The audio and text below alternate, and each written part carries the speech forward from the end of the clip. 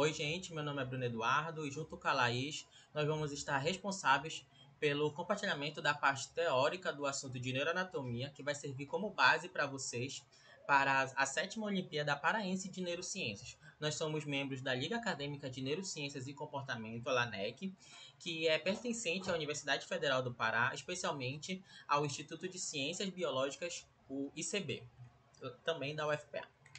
Bom, é, para esse primeiro momento, nessa primeira aula, nós vamos estar repassando para vocês sobre os três temas, que são as meninges, o líquido cefalorraquidiano e o tronco encefálico. Bom, para a gente começar, nós vamos falar sobre as meninges. É, o sistema nervoso central ele é composto pelo encéfalo e pela medula espinhal. E ele é completamente envolvido por membranas conjuntivas que o isolam e protegem, que a gente conhece como as meninges. É, as meninges são três membranas protetoras, né, que são compostas pelo tecido conjuntivo e são responsáveis por envolver é, e proteger esse sistema nervoso central. É, tanto, no, tanto no encéfalo como na medula espinhal, essas meninges é, são organizadas de, da parte mais externa para a parte mais interna dessa forma. Onde na parte externa a gente encontra a dura mater, que é a, a, a meninge que está mais afora, vamos dizer assim. Nós encontramos a aracnoide, que também é conhecida como aracnoide mater, que é a meninge intermediária, é a membrana intermediária de proteção. E nós também encontramos a pia mater, que é a camada mais interna, é aquela camada que está muito junto do tecido nervoso. É... E tanto no encéfalo como na medula espinhal nós encontramos essa formação da parte mais externa, que nós começamos com a dura mater, para a parte mais interna, que nós encontramos a pia mater. Falando especificamente agora sobre a dura mater, é, a dura mater ela é a meninge mais externa, é, que está mais afora, né, nessa camada de, das meninges. Ela é composta por tecido conjuntivo rico em fibras colágenas. E no encéfalo, essa dura mater ela é dividida, né, ela é constituída por dois folhetos. O folheto mais externo ele é conhecido como periórteo interno, que é essa membrana mais externa aqui em cinza, um cinza mais claro, mais forte. É, e a camada mais interna, que é esse cinzinha mais clarinho, ela é a chamada de meníngio. Então, o encé é, no encéfalo, a dura mater é dividida em duas partes, em dois folhetos. O externo é conhecido, é conhecido como periórteo interno, apesar do nome, ele é diferente da camada interna da dura mater, que é chamada de meníngio.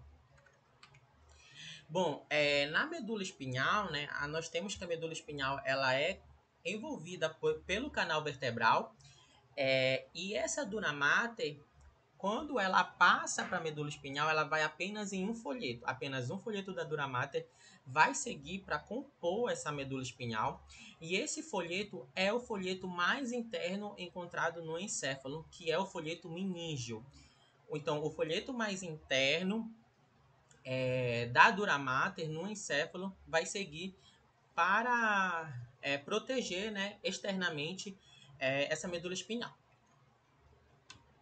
Bom, falando especificamente da aracnoide, né, também a, conhecida como aracnoide mater, é, essa membrana ela é intermediária, né, ela que está no meio das meninges, ela é delgada e avascular e é formada por células e fibras finas que são dispersas é, e são dispersas de material elástico e de colágeno. Ou seja, elas são constituídas de um material elástico e de colágeno. Ela é chamada dessa forma de aracnoide devido às suas fibras é, se, se juntarem né, e formarem uma espécie de teia de aranha.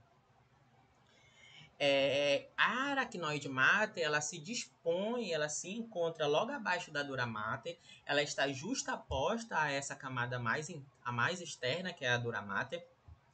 E a aracnoide também ela é, respons é responsável né, por enviar inúmeras, inúmeras trabéculas aracnoides, que irão atravessar o espaço subaracnoide, né, que é o espaço entre a aracnoide e a pia mater, e que, vai acaba, que acaba indo em direção, em direção à pia mater. É, por essa por essa, por acabar sendo criado espaços entre aracnoide e a pia mater, é, existe uma profundidade de espaço. E é nessa profundidade que a gente encontra o espaço subaracnoide. E essa profundidade desse espaço subaracnoide acaba sendo variável, né? E devido a isso, né, e a esse espaço aracnoide e essa profundidade variável, nós chamando, chamamos eles de cisternas subaracnoides, que é onde a gente encontra o um maior acúmulo de licor. Esse licor nada mais é que o líquido cefalorraquidiano, que a gente já vai já comentar um pouco sobre ele é, daqui a pouquinho. Bom, falando um pouquinho mais sobre a camada mais interna é, das meninges, nós encontramos a pia mater. A pia mater ela é a mais delicada e a mais interna das meninges. É, e ela está aderida fortemente ao tecido nervoso, né? É, acabando, né, acompanhando suas elevações e depressões. É, e apesar de delicada, né, é a pia mater que ajuda a dar forma e até dar a resistência a esse tecido nervoso. É, entre a aracnoide e a pia mater, né, como eu já comentei anteriormente, existe o, o espaço subaracnoide, que é esse espaço aqui, entre as duas meninges. É nesse espaço que a gente a, a, analisa né, o acúmulo de líquido é, cefalorraquidiano. E quando a gente tem esse espaço, é, e quando a gente analisa né, esse espaço acompanhando os vasos, em especial as artérias, e a gente analisa que ele vai sendo levado ao redor desses vasos até a um nível é, dos capilares, a gente dá o nome a esses espaços de Vichol de Robin.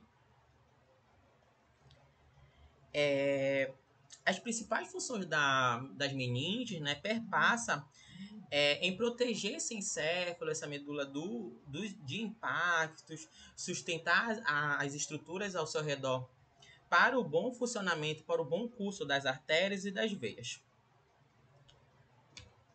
Bom, é, falando um pouquinho especificamente do líquido cefalorraquidiano, né, o líquido cérebro espinhal, o LCS, que também é conhecido como licor, ele é um líquido claro e incolor que é formado principalmente por água. E ele vai proteger esse encéfalo é, e a medula espinhal de lesões químicas e físicas. É, e ele apresenta em sua, em sua composição né, pequenas quantidades de oxigênio, de glicose e outras substâncias, como as proteínas, que vão ser muito importantes para uma discussão que a gente vai ter daqui a pouco. É, e essas pequenas quantidades, né, essa composição do líquido cefalorraquidiano é importante justamente no encéfalo para os funcionamentos, por exemplo, dos neurônios e da neuroglia. É, o líquido cefalorraquidiano, né, ele apresenta três funções básicas. Uma é a proteção mecânica, que é quando esse LCS, LCS ele funciona como um meio amortecedor que protege os delicados tecidos do encéfalo e da medula espinhal. Né?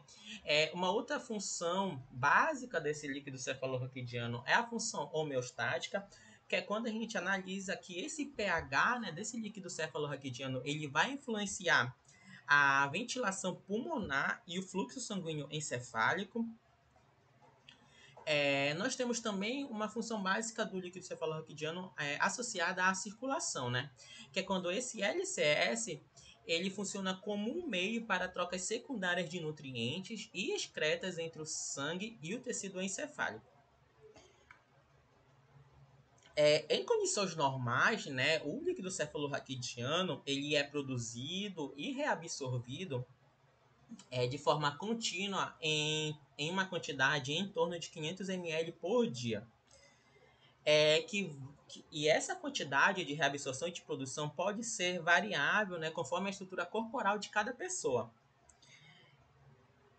É, e esse líquido cefalorraquidiano, né, ele circula ao redor das estruturas cerebrais, do encéfalo, é, é, tendo um íntimo contato com as membranas e as células nervosas, com os tecidos nervosos.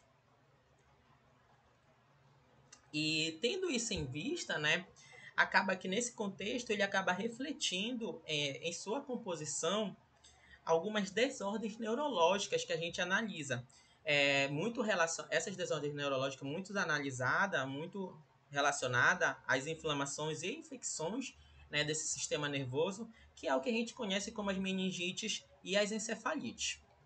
É, a maior parte desse líquido cefalorraquidiano ele é produzido ele é produzido pelos plexos coroides, é, que são redes de capilares é, localizados nas paredes dos ventrículos, que é o que a gente tem como exemplo aqui os ventrículos laterais, o quarto ventrículo, o terceiro ventrículo.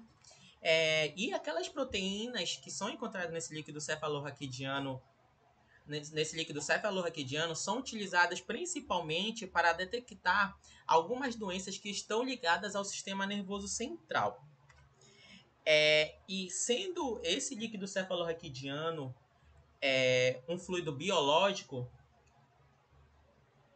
é, a gente pode ter a a gente pode acabar tendo acesso a esse líquido cefalorraquidiano é, para que a gente possa detectar a sua composição e a relação dele com certas doenças.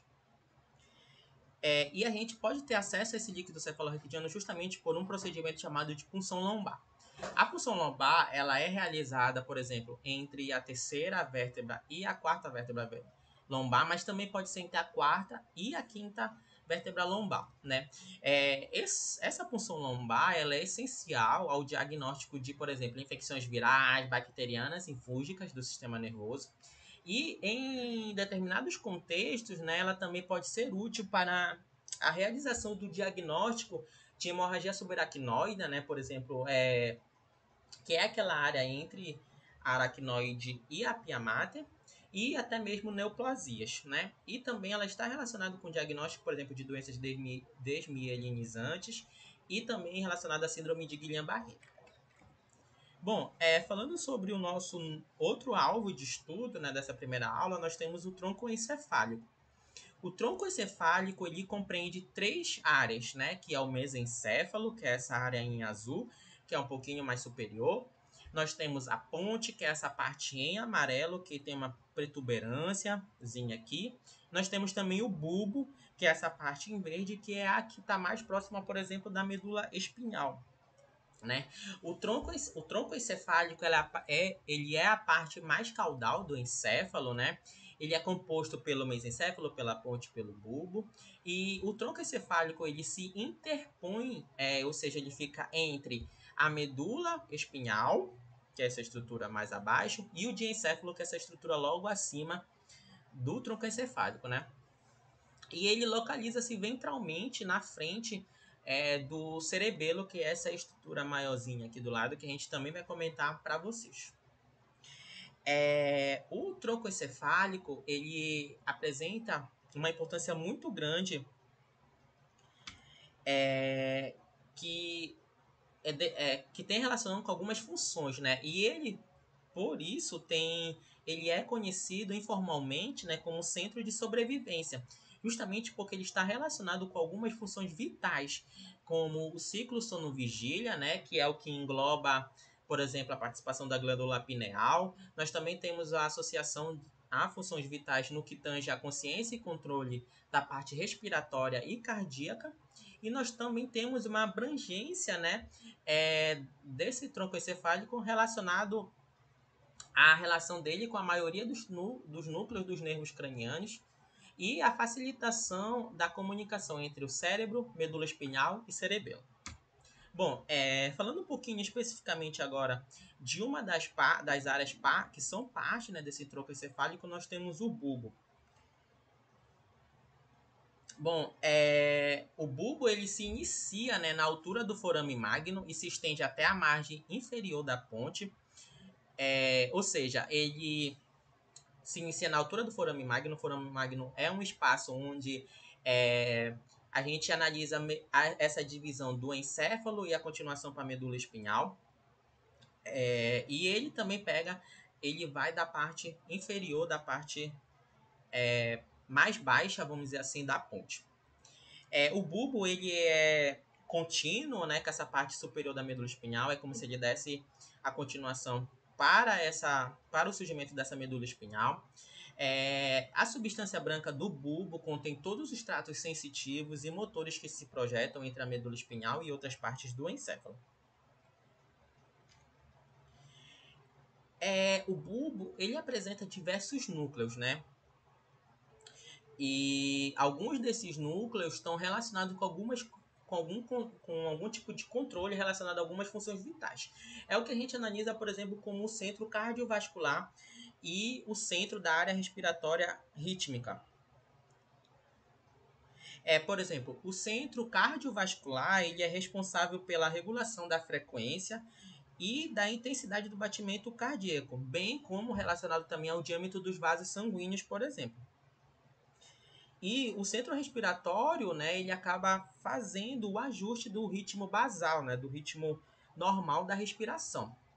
E além de fazer a regulação, né, desses batimentos, os núcleos bulbares, eles também têm uma relação com os reflexos de vômito, de vômito. É lá que a gente encontra o centro do vômito, né, da deglutição, do espirro, da tosse e do soluço.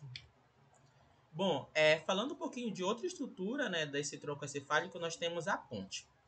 É, a ponte ela está localizada logo acima do bulbo, é essa parte que tem uma protuberância nesse tronco encefálico. E ela está na frente, né, que a gente diz, o anterior ao cerebelo, que é essa outra estrutura mais um pouquinho atrás que a gente vai apresentar para vocês daqui a pouco. É, essa ponte ela é dividida em duas estruturas principais, que é a sua região ventral e a sua região dorsal. Na região ventral dessa ponte, nós temos que ela forma um, uma grande estação de transmissão sináptica e ela forma alguns núcleos, que é o que a gente conhece como os núcleos pontinos. E na sua região dorsal né, da ponte, nós temos é, tratos ascendentes e descendentes, é, e também nós temos a inserção de alguns núcleos de nervos cranianos. Bom, é, aqui nós temos um recorte ventral, né, uma parte é, frontal dessa, dessa, uma visão frontal dessa ponte. É, e nela, na ponte, né, em sentido longitudinal, e na região mediana, na região do seu meio, dessa superfície né, da ponte, nós encontramos o suco basilar, que é essa parte mais em preto aqui. É, é nela, é nesse suco basilar que nós analisamos, nós encontramos a artéria basilar. E a, nós analisamos também né, que nessa ponte, é, a ponte né, ela encontra-se limitada ao bulbo através do suco bulbo pontínico, pontino, né? É, e é neste suco ponti, bulbo pontínico, né, que é essa relação entre a ponte e o bulbo, que emergem é, de cada lado né, dessa linha mediana alguns nervos relacionados a algumas funções do ser humano. Né? Por exemplo, nós temos a relação do nervo abducente, que está bem aqui, do nervo facial e do, vermo, e do nervo vestíbulo coclear. Bom, a, a outra estrutura muito importante né, desse, desse tronco encefálico é o mesencéfalo.